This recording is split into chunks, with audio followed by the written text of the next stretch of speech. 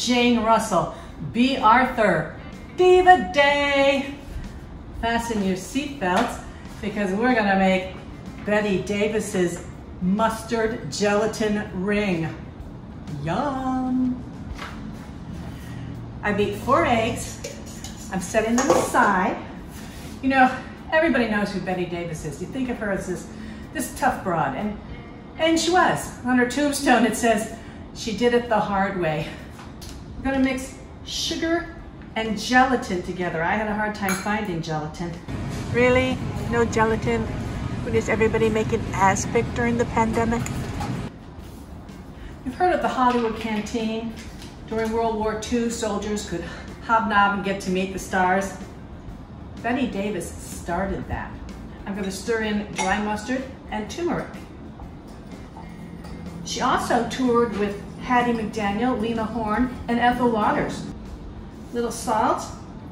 And now I'm adding water and apple cider vinegar to my beaten eggs. This might be the strangest recipe yet. Oh, but you don't know what I'm making from Jane Russell. Now, I stir in the sugar and gelatin mixture. This is my uh, makeshift double boiler. I'm supposed to stir until thickened. Okay, it's starting to get thick, so I'm gonna remove it from the heat and let it cool. I tell you, all I can do is smell mustard and vinegar. I mean, who wants mustard and vinegar gelatin? Oh, Bette, really? Really? Now I'm going to whip some cream. So I have my whipped cream. I did stiff peaks. It just said whipped the cream. It didn't say stiff peaks or soft pink peaks. I have my cool gelatin mixture, which, ah, it's kind of runny, not sure. And now I'm just gonna fold the gelatin, the mustard and vinegar gelatin, um, into my whipping cream. Oh boy. Oh boy, huh? Bette Davis was nominated for 10 Academy Awards, winning for Dangerous and Jezebel. She just got the part of Jezebel um, sort of as a uh, consolation prize for not getting the role of Scarlett in Gone with the Wind. All right, it's really soupy. This might be a disaster. I'm supposed to put it into a ring mold. I don't have a ring mold, but I have these pretty little uh, silicone flower molds, so I'm gonna put it into that. All right, this is kind of, I don't have the whipped cream incorporated, but I'm afraid, I'm afraid to mix it anymore. So here we go. Yum. Then you're supposed to serve this with coleslaw mixed with pineapple tidbits. I'm not making this up. Bea Arthur, Maude, Golden Girl, and one of the first female Marines. She volunteered to join the Marines before World War II, and during World War II, Staff Sergeant Arthur drove a truck.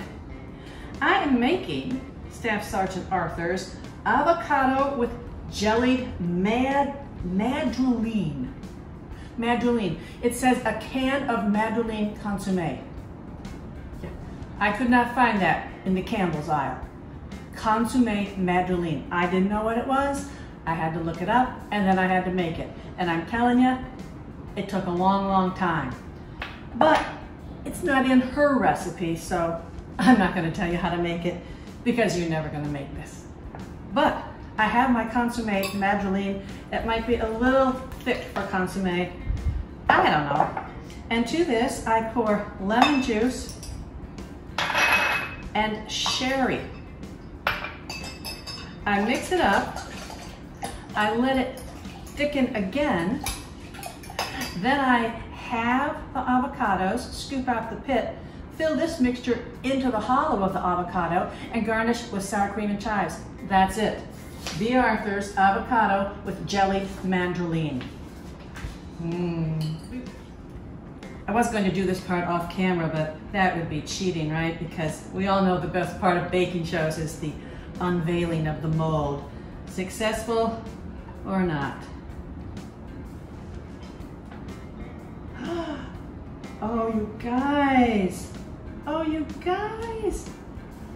Oh, please, please, please, please, please. Oh, one flop. That's okay. I have extra.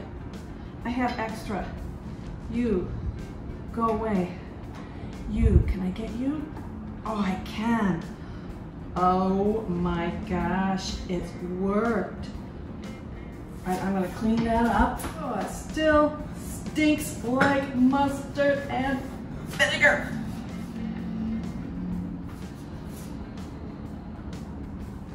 Guys.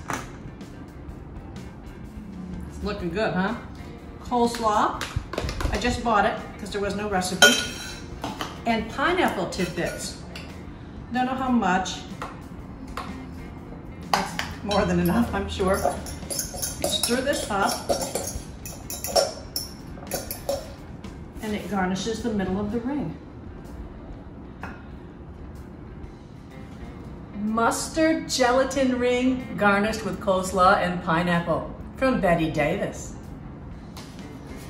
Jane Russell's Iceberg Puff. Iceberg Puff. This, this recipe fascinates me because as I read through it, it almost sounds like it's going to turn into an iceberg lettuce souffle. I'm excited about this one. So I've had iceberg lettuce crisping in the refrigerator and now I'm to coarsely chop it and boil it. You know, I almost feel a little sorry for Jane Russell. She was a very, very reluctant sex symbol.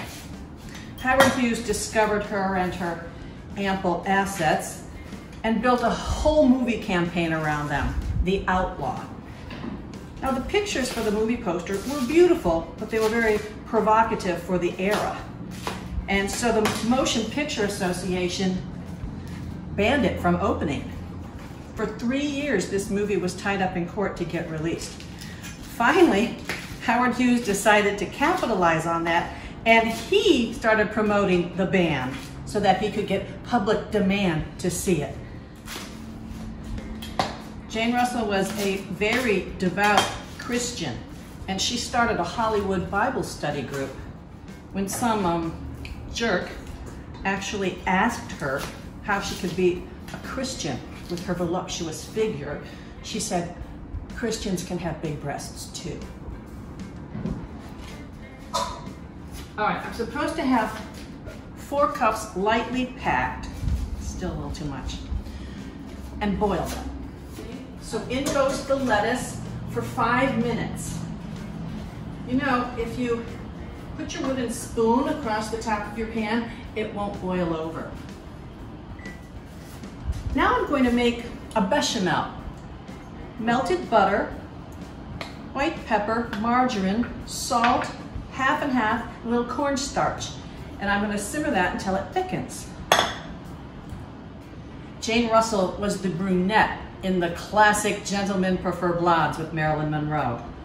I guess they got along wonderfully.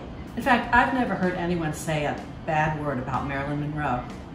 Just a less than an eighth of a teaspoon of this seasoning, especially white pepper. That is some, um, I love it, but that's some strong stuff one tablespoon cornstarch. And I did the half and half. All right, let's thicken it. For those of you playing along at home, you'll notice I did that wrong. I always do. Melt the butter first.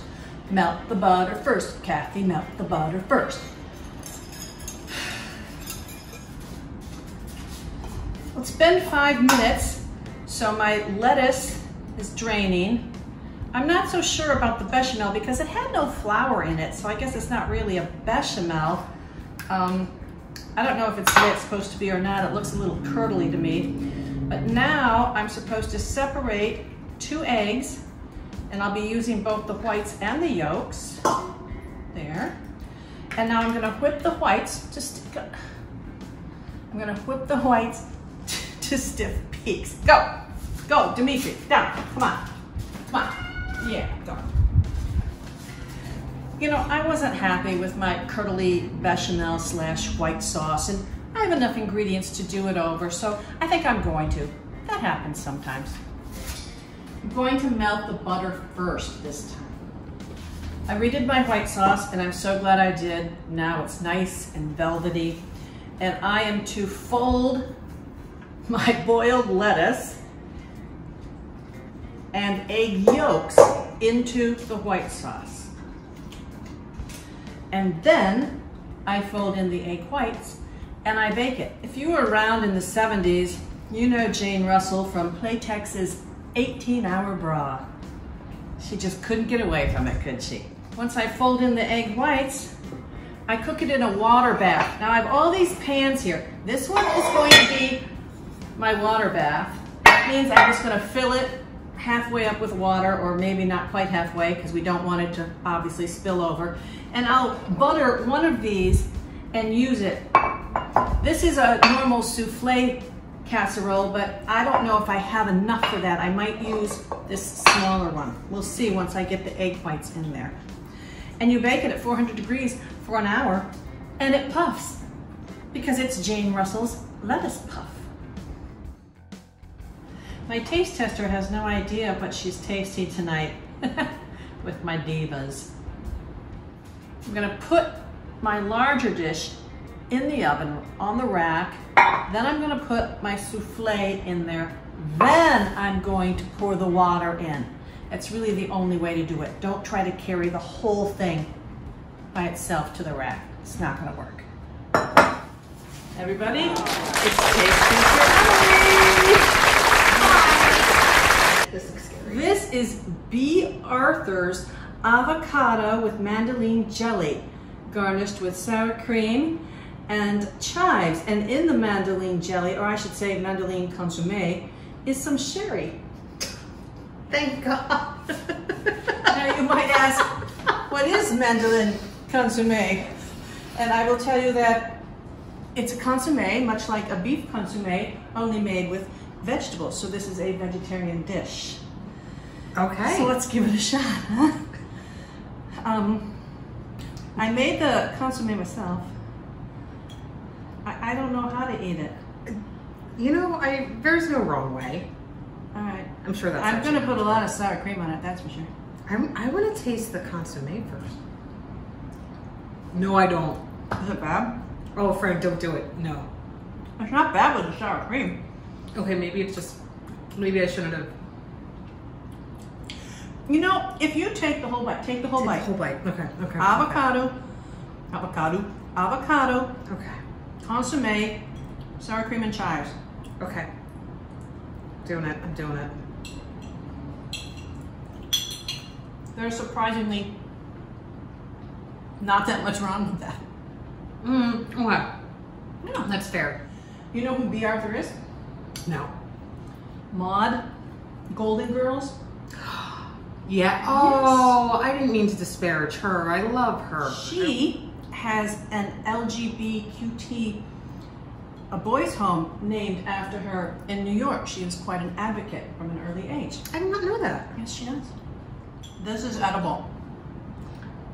I'm not so sure about our next course. I. I think edible's a stretch.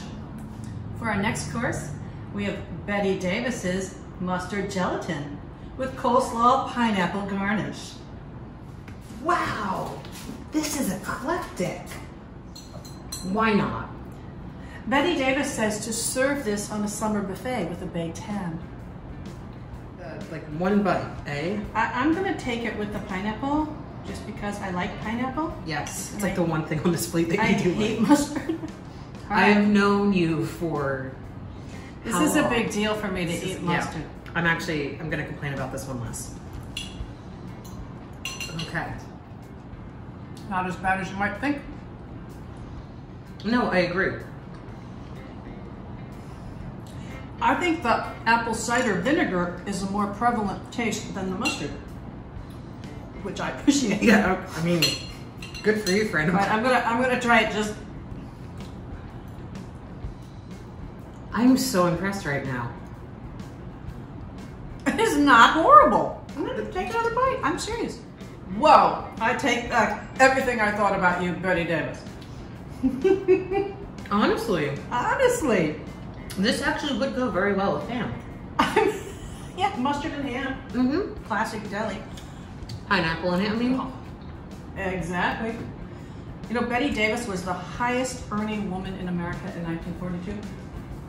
I did not know that. Yes, she was. And you know the 1980 song, Kim Carnes, Bette Davis Eyes? Let's just say I do. I don't want to disappoint you anymore.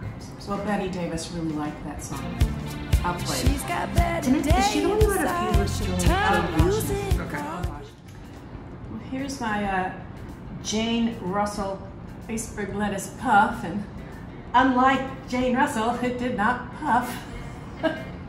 um, what do you think? I, I think it looks like if uh, we were watching National Geographic and it was an aerial shot of a tundra. A tundra, A tundra, because it's mostly brown. a lunar landscape. Oh, or that. okay, well, I think it was supposed to souffle, and really, it's it's more like a pudding. Okay, it's an iceberg egg pudding. Oh man, kind of disappointed. I take full responsibility, Jane Russell. Ooh, okay. You know? Tastes healthy. Like a, a watery omelet? like a watery Yeah. spinach omelet. It's, but it's not watery. but not better than I would think. That's not saying a ton. No, it's watery because it's lettuce. Yep. You know, Jane Russell was born in Bemidji.